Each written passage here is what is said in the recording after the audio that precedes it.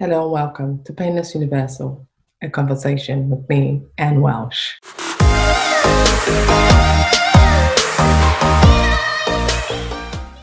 Today's guest is very, she's an aspiring lady. She is a dentist. And when we say dentist, there's so many dentists around the world, but what inspires me with um, this, my special guest, is her, what she does about creating the perfect smile we all know this, your smile is what gets the door open. She restores and she, you know, restructures the way we look and feel, all to do with our perfect smile. I'm glad she's joining me with um, taking time out of her busy schedule, especially as you know the dental surgery is just open and people are overwhelmed with their bookings but she's taking time out to just join me on this platform today. Meet Dr. Kamala.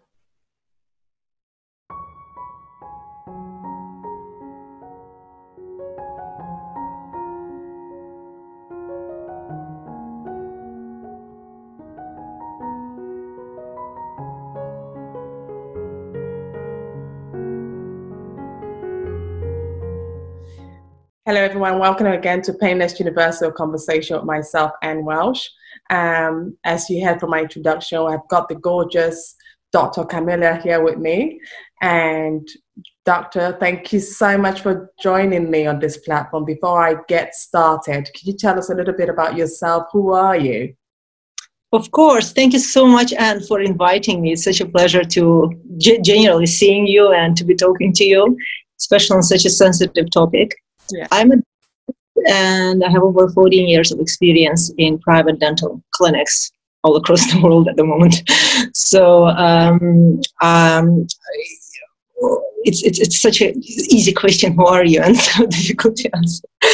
yeah. So um, I have two kids. I have a gorgeous family. Um, I have six year old and um, year and a half to two year old boy who is asleep at the moment. and uh, yeah, so I'm kind of um, busy mom trying to combine work and family uh, together. Wow. And no, no, absolutely. That's I, I, you know, people see how hard how hard working you are. And I was going on your website and I see all the blog. You even write blogs. You do your daily work, and we forget that you're also a full time mummy as well. You know, managing a household not very right. easy. But what led you to this go on this journey to become a dentist? Um, you know, it's um, medicine just runs in our blood. I come from the quite a renowned family of doctors from back home. I, I grew up and I was born in Azerbaijan, in Baku. And um, my granddad, it all started with him. He um, kind of he uh, set up the first neurosurgical hospital, like central, very big hospital back home. And since then, everybody in our family decided to become doctors my mom, my sisters, my uncles. Uh, we have all sorts of medical specialties um, in our house. And as I was growing up, um, I was always a little bit more mischievous. I was trying to deviate from the main pattern. Mm. And to yeah, um, dentistry was a completely new area because we don't ha- we didn't have any dentists in our family back then, and uh, I decided that it's something interesting for me to do. Mm. Also, um, with me, I've, I'm I'm Virgo. I don't know if you believe in horoscopes, but mm. yeah. I like to I like everything looking nice kind of I like I have always been into a bit of architecture a little bit of design kind of putting things together nicely. And um, I remember one day my mom, she had her smile done, she had her teeth done. It was it was in early 90s, and back then it was such a rare thing. But I remember it completely transformed her personality. She would come home so happy. She was smiling all the time. She was like so happy with her new teeth. And it just had such an effect on me. I realized that she suddenly looked younger and i realized you can actually you know you can actually transform somebody's life by giving them beautiful smile and uh, kind of boost their confidence. And since then i decided that this is definitely something i'd like to do just to make people look and feel great. Um, and uh, since i had no big choice it was medicine for me. I prefer i prefer to do um, I, I, I kind of chose dentistry myself went into that area my dad was very happy with that when i had this discussion with him what, what, what we're going to choose where we're going to go um, yeah, uh, although it was a completely new area, like it was completely unexplored um, area for no idea where it's gonna work, how it's gonna happen, um, how it works at all. I only knew that you know the smile could look nice. well, that's a that's a good insight because that also brings me to the journey of your you you know no one in your family yeah you had medical doctors and everyone was in the medical field but the specific field of being a dentistry was not known in your family or no one has done it. What pain and challenges did you go along the way to get yourself to where you are today? Because let's be honest you're really quite a successful dentist in london. So it, it, there must be has been some um, journey along the ways that you went through yeah and you name it there's been so many. Where to start from. Well um, be honest um, all my life I'm, I'm such a character. I always wanted uh, to i'm kind of neurotic. You know i always want to get things done quickly to be the first one here to manage everything at the same time. And uh, it was the same since i was a little and even at school i tried to jump over classes by passing exams just because i wanted to graduate quicker to get into work quicker. And um, I graduated from medical university when I was 21 year old, which is very early. Everybody would graduate 22, 23. Um, and all that effort I've, I've put in order to be able to kind of quickly work, you know, even at university, I was um, from day one, I was going to, after university, I would go to assist, do some dental assisting jobs. Um, I would come home very late every day and uh, that all that was because I wanted to have this clinical background together with the theoretical knowledge. So when I graduate, I don't waste time on learning all that. So kind of, you know, I was trying to do everything quickly, and then um, I also uh, was very lucky to. I was very lucky across the my pattern path. I, I have to admit. Uh, I don't believe in such thing as luck, but I think if you're really showing a lot of effort, if you're really kind of um, confident, you're trying hard to do your best at each step. People see it around, and there is no way um, that would go unnoticed. So what happened with me is I got a really great job in central, like one of the most prestigious hospitals back home. I also set up my own clinic one year later after I graduated, and uh, I was really like successful working for several years there. And then I met my husband. and when I met my husband, we decided we will relocate to London because he was in the US. Mm. And um, whatever he was doing there just was non existing back home. So the only area where we could live, both of us, was London. And when I came here, I first faced my hardest challenge ever. So I had to kind of uh, do all the studies, do all the exams from scratch. So all my life I was kind of, you know, um, rushing towards getting things done quickly and just getting to as um, as kind of forward as I could. But um, then here I was completely stuck when I arrived because our uh, license, you probably know, medical doctors, they, we cannot mm. work we want. If we relocate, we have to redo the whole thing. So when I came here, um, the challenge was real. So first I thought, okay, it's just exam. I'm sure I'll pass it. But uh, then I realized it was um, not so easy because, first of all, it was an exam where you pass all the medical school, like six years, which you study, you do in one go, which is very low success rate of these exams. And also that there was a massive waiting list for those exams as well. Uh, a lot of doctors from big, massive experience from all across the world, from Latin America, from Africa countries, from uh, Asia Pakistan, India, you name it. Wow. Everyone was trying to come, whoever needed to come for family circumstances, everyone was trying to pass these exams. So I realized there's a wait list to get to exam before you even try to pass it. And uh, anyway, when I just arrived, the wait list was one year. I said, okay, I'll wait for one year. I have decided that instead of just waiting, I will do master's degree. I'll do this and that, which I was busy with. But then it hit me again one year later. I sat and finally I could kind of book the exam. me and my husband we sat together. We were trying to book it, and uh, we couldn't because it was first come first serve, and there was thousands of people and only 100 places. So book it, and we couldn't. And few weeks later, they said that the exams have stopped, and we don't know whether they're going to be happening again anytime soon. So, yeah, for me, it was a big, big. It was the lowest point, I must say. Um, I was just uh, devastated because, first of all, I wasted so much time, and second, I couldn't see myself. Uh, we were discussing with my husband whether I should do some masters in MBA, some some kind of other things, some financial background, do like you know just change my specialty. But um, to me, it was an impossible thing because I've been coming to this for all my life, you know, and um, this was the only thing I, I could imagine myself doing. Yeah. Um, so anyway, I remember it was like a very like bad day when I found out about it. Mm-hmm. So I spent a few weeks thinking what to do with it uh, because I could have waited, but then you don't know what you're waiting for. You don't know whether they said there are going to be may not be exams in several years, which means I wouldn't be able to practice dentistry. And then dentistry is such such thing. If you don't practice it, you kind of get outdated. I don't know, like it's just it's not. Yeah. Yeah. So um, I'm even getting nervous talking about it because it's like it was so much stress. Um, it's just no, it's so it's so inspiring to know and hear these stories because everyone sees you, sees how successful you've become, but not knowing the challenges you went along. Really? Please keep going. It's really I love.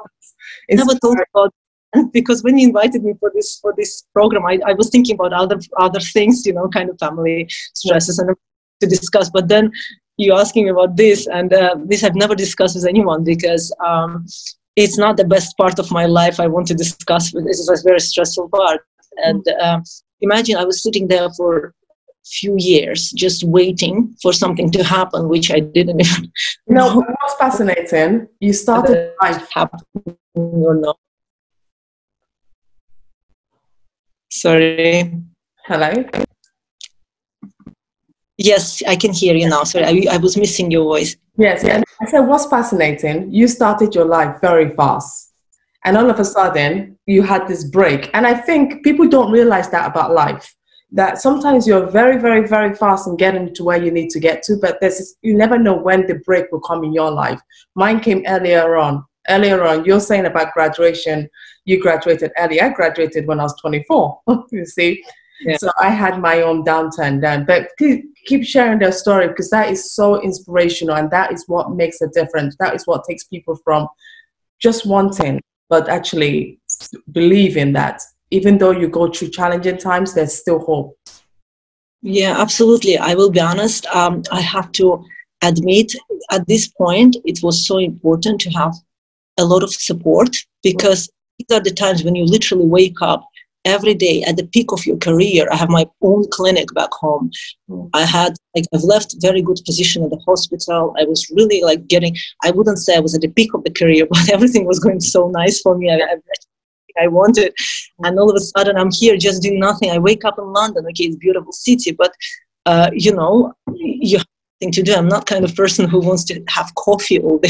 you, know? you want to have something going, yeah yes and i again i'm not uh, so um, kind of um, I, am not the kind of person who would open my own brand or design i was never into all that i want i knew exactly what i wanted to do i was going towards it all my life as you correctly said that, that i was always kind of fast forwarding things and i found myself having this unwanted break right in the middle of my and, um, the problem was if you know it's just a break you're kind of relaxed but i had no idea where i'm going to be in years time you know?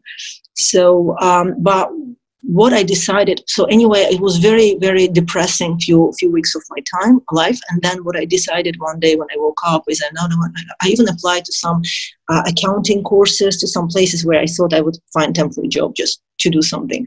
But then um, i don't know one day i decided that um, I actually not I'm not gonna just you know kind of I'm gonna just wait because I was kind of sure that this is exactly what I want to do, mm. and um, I decided I'm gonna do some postgraduate degrees.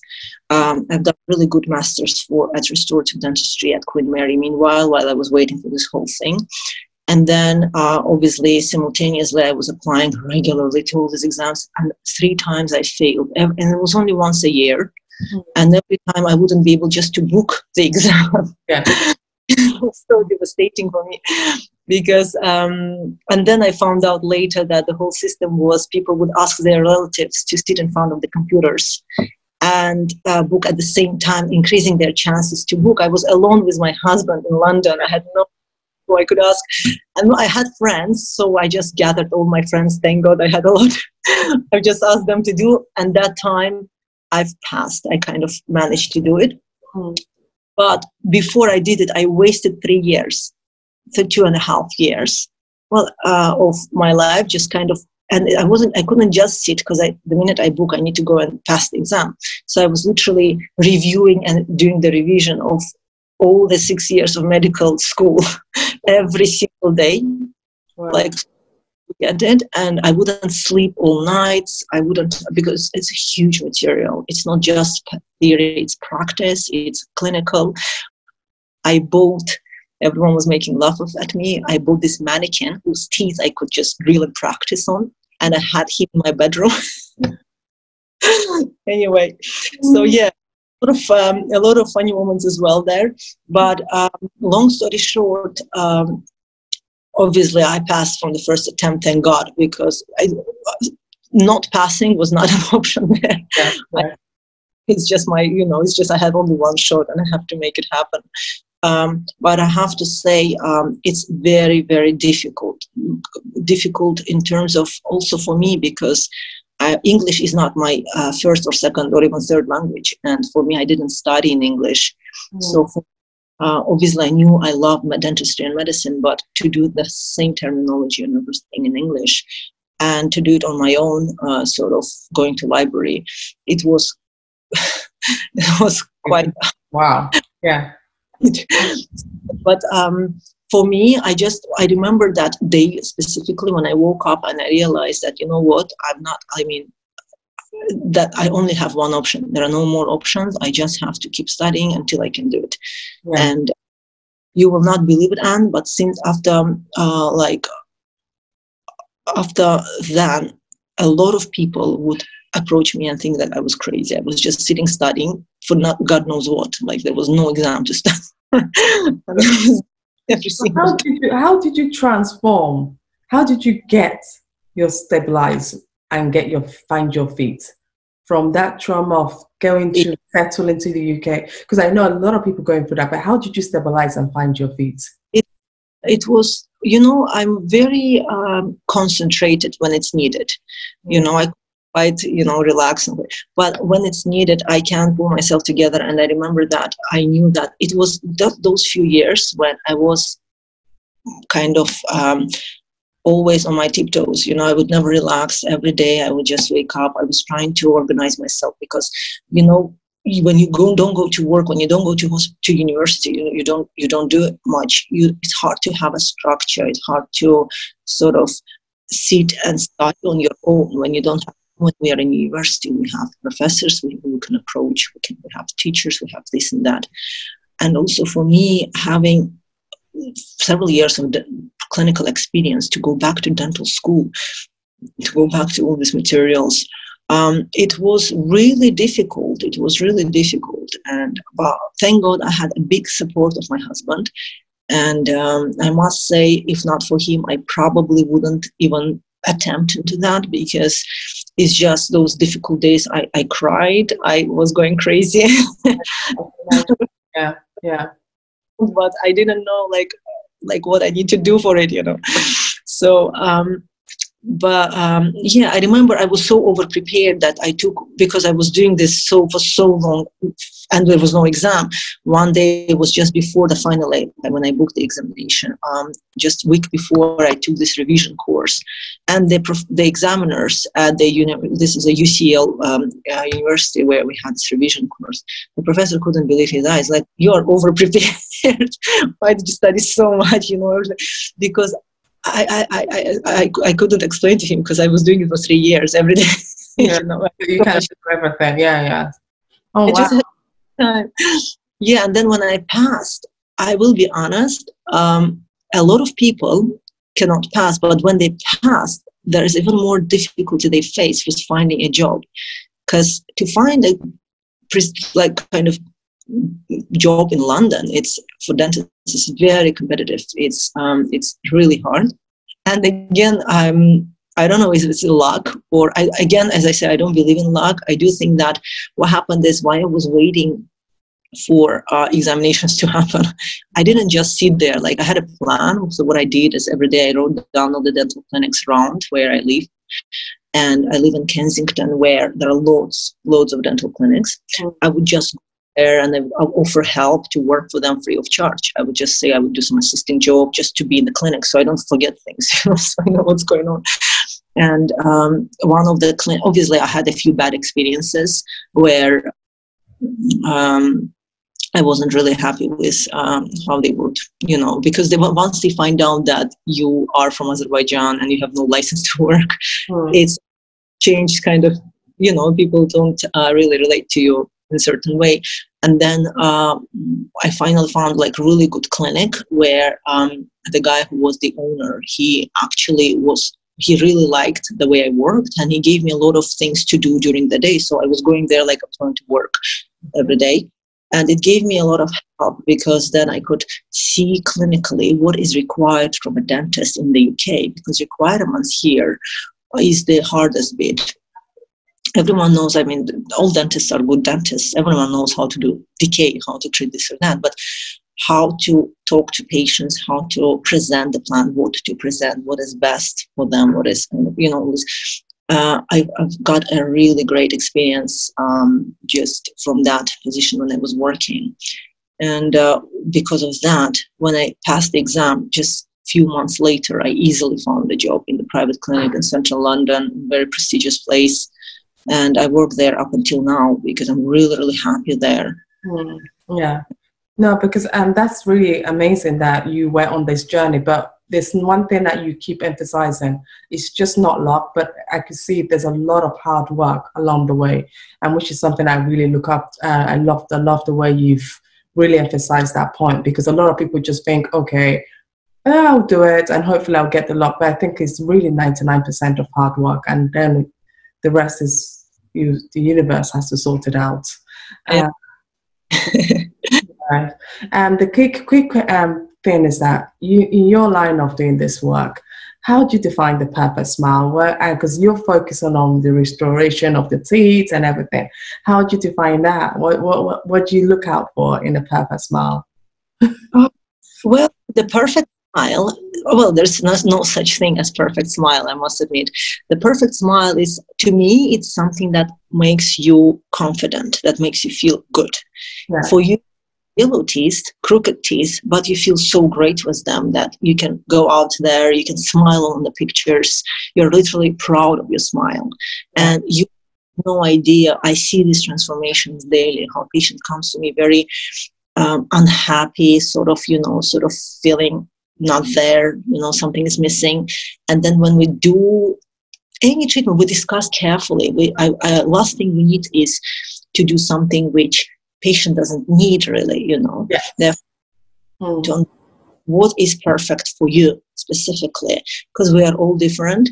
And, and oftentimes what patient likes, I don't like. But uh, I kind of will have to find this common ground, which is okay to do, and she's happy, and patient is happy and um, when patient gets it, it's such a transformation. It literally walk straight, you know, like it's completely different, different um, personality.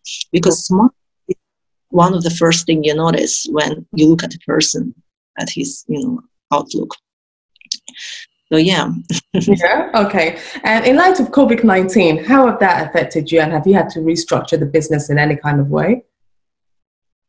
And uh, to be honest with you, after I had this hit in my career, it was long ago though. It's been now over ten years that I'm uh, practicing. I have like long experience and all. But after what happened to me in the beginning, if mid in mid twenties, um, I never take things for granted.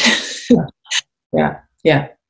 Just it's just with me all the time. It never leaves me this feeling of you know you have it today and you have to be thankful. You don't know what you're to have tomorrow. Therefore when covid happened it actually didn't really affect me as much personally. It's strange but i was kind of enjoying it because also before that break in my career and after the past 10 years i was working like crazy. I was doing courses i was uh, doing conferences um, i was having kids. I was just you know it was just get, getting so hectic. I think you would agree that the life um, has become so kind of in such a rush. It's yeah. like we rush every day we rush to work we rush back we rush to get this coffee.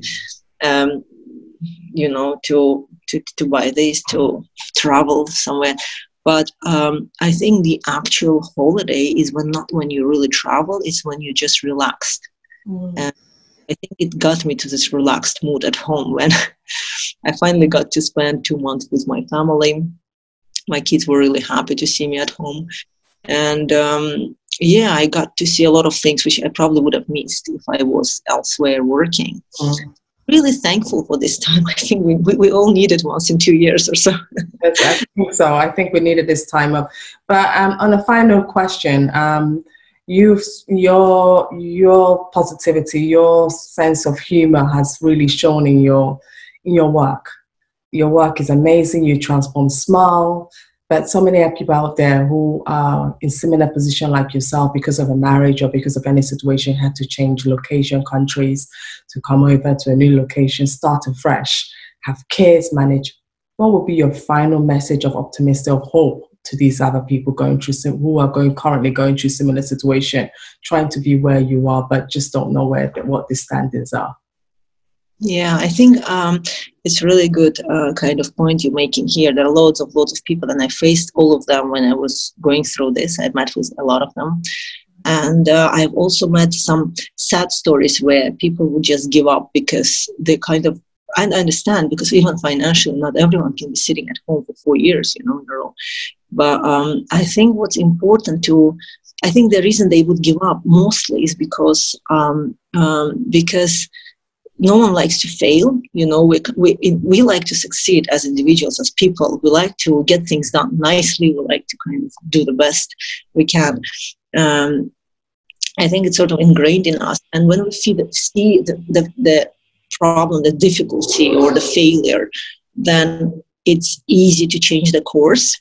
So i think um, what we what is important to do is to understand that in my case it was really helpful to sort of build to understand that failure will happen that you will fail at some point here and there in your life. You cannot just you're not a robot and uh, you cannot always succeed. And the, the point is when this failure happens just keep being just keep being and uh, moving in your course you know. The sooner you realize and accept that something some difficulty you will face you know things will happen not the way you want. The sooner you'll be able to move on the sooner you'll be able to kind of accept it and live with it and work with it kind of.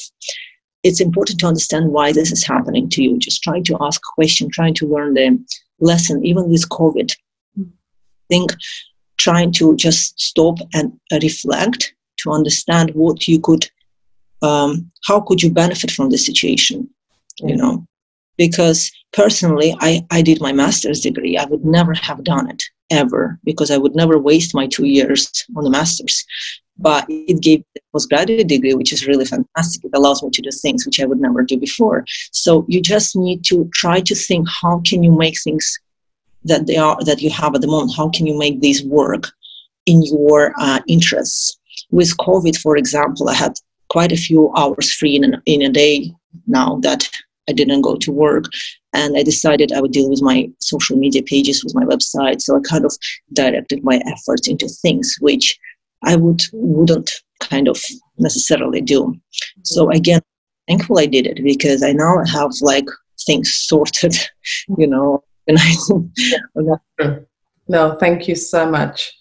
Um, Dr. Thank Kamala, thank you so much for joining me on the platform. I really find know, I found this conversations absolutely insightful and meaningful for so many. Thank you so much.